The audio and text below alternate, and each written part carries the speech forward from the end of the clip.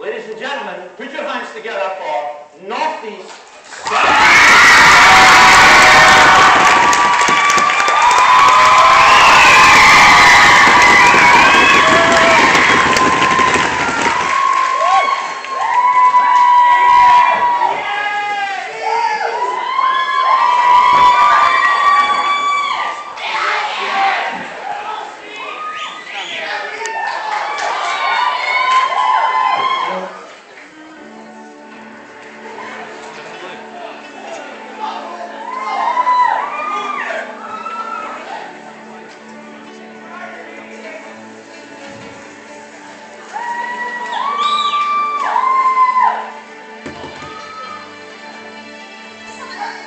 Baby, if you